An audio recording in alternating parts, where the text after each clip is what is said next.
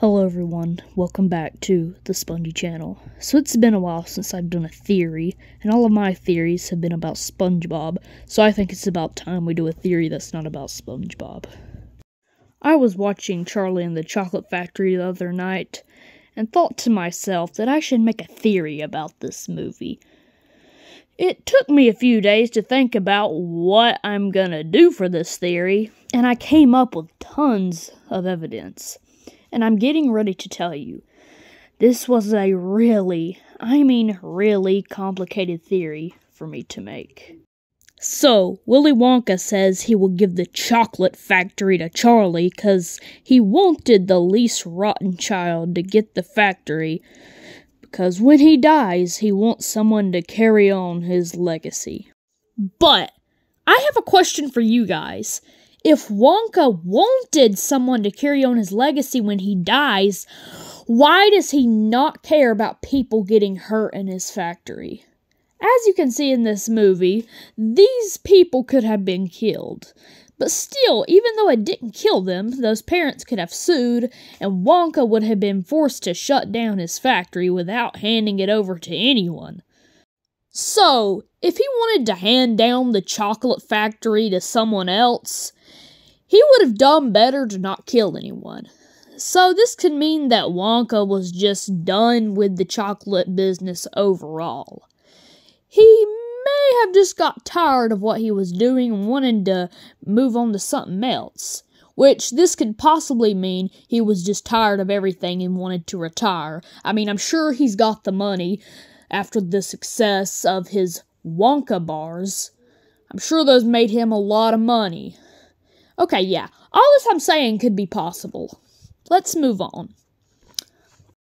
The biggest piece of evidence I found to support this theory may be in the full course meal gum scene.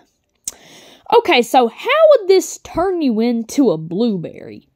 If you go to the store and get the stuff to make gum, and all the other weird gum ingredients that was in that. That just can't turn you into a blueberry. That's literally impossible. You would have to be doing this on purpose.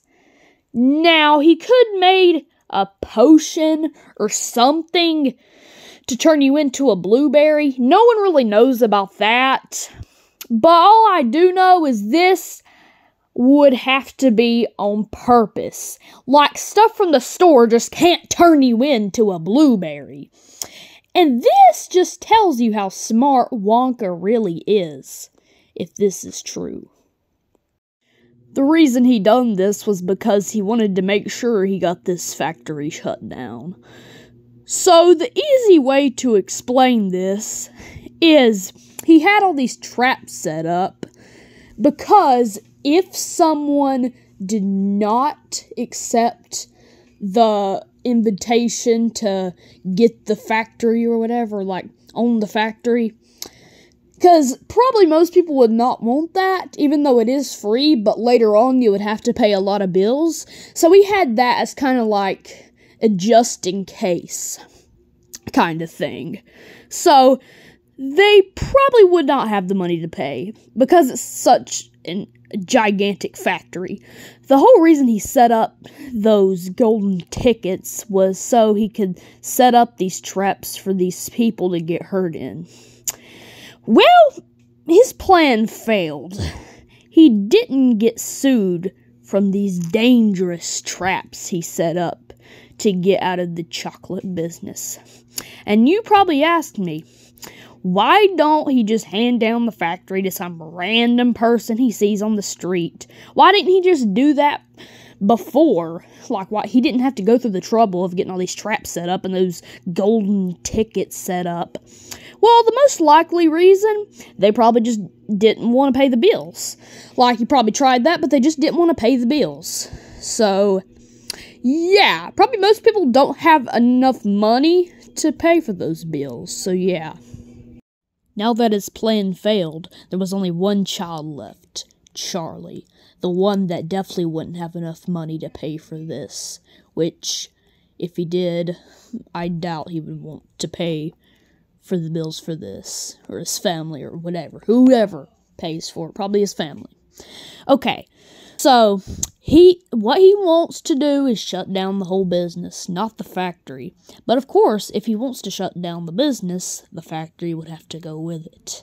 You may be thinking if he lives there, then once it's shut down, he would most likely just buy a house since he shut down the business and he's not getting any more money from the chocolate bars. So, if he lives there, after he shut down the factory, then he would end up going bankrupt considering it's such a big place. So, my recommended option for him would be to just buy a house instead of doing this, which that would be what he'd most likely do, I bet. So, like I said, the reason he wanted to get rid of the factory was because he was just tired of this chocolate job and he's just done with everything, pretty much. Also, he had an excuse of saying he wanted somebody to run the factory so he has somebody to carry on his legacy when he dies. But he didn't want to tell anyone that he was just tired of everything and just wanted to quit after all the success of this company. He would have been embarrassed to say that he was just gonna quit and he wanted to quit, like, I would be embarrassed too, not gonna lie. Okay, so the scene with Wonka sitting down at the table in Charlie's house. Well, it looks like his plan pretty much worked. When you zoom out of the house, you see there's no lights on anymore in the factory. So that probably means he's got rid of all that stuff and now he's just retired and living a normal life. Now, this is just a theory. He may be still running the factory. Like, he may still be running the factory and stuff, um, so he can have their house in there. But I doubt he's doing the chocolate business anymore, because when he's at the table, he don't act like he's doing the chocolate business anymore. He acts normal. Now, my only question is that will Wonka become less weird now that he has a family and not just those stupid Oompa Loompas? The Oompa Loompas ruin his brain and cause him to pretty much go crazy. Now, there is still going to be some Oompa Loompas at the factory, as you can see at the end when he when that Oompa Loompa was narrating or whatever. Yeah, he was narrating. And I'm sure there's some other ones going to still be there at the factory. But now that he has a family, he's probably not going to pay attention to those Oompa Loompas. Okay, when he was at the table, that was really the first time he was not treated like trash. Also, when he's at the table, he seems to have changed quite a bit from being really weird to actually being a normal person. So, this theory just proves that Wonka is much happier without this chocolate business or chocolate factory.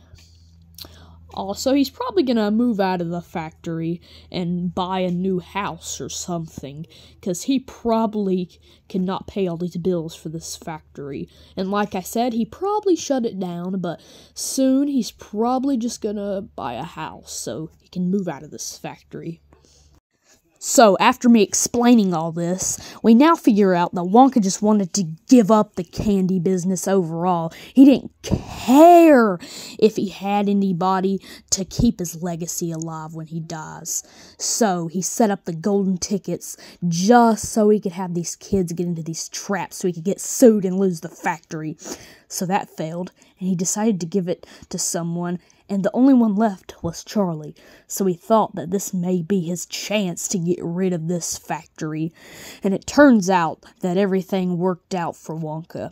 This theory just proves Wonka is an evil brat. It's been a while since I've seen this movie, and it took me a few days to come up with the idea for this theory, what I was gonna do and stuff for this theory. So, yeah, this theory was very hard to cover. I would be appreciated if you gave me a like, subscribe, and comment. You don't gotta do that though, but I'd really appreciate it after all the hard work I done. So, I've covered many theories, and this is my only one that's not SpongeBob.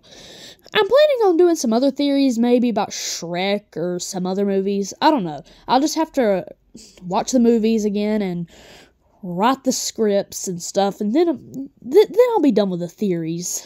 Um, so yeah, I was actually wanting to do some theories months ago, but I just couldn't think of anything. And now that I finally watched this movie again, I thought of some theories, some good theories. So yeah, I've been your host, the Spongy Channel. Thanks for watching.